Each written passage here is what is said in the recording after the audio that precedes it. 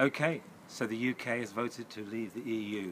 Some people are saying it's good, other people are saying it's bad. We're saying we are where we are. We are going to leave the EU. What does that mean for you? What does it mean for you as a leader? What does it mean for your organisation? Our conference in October had always planned for both staying in and leaving. We've spoken to every speaker today, every contributor, and said, right, we're in a Brexit stage. What do we need to share with people to help them be more agile, to unlock the potential in the people they already have, to be a force for good and prove it in financial terms? In October, you are going to hear more how to's, more tips, more techniques that you can put into practice straight away than you'll hear at any other conference. Be there in October. Look forward to seeing you.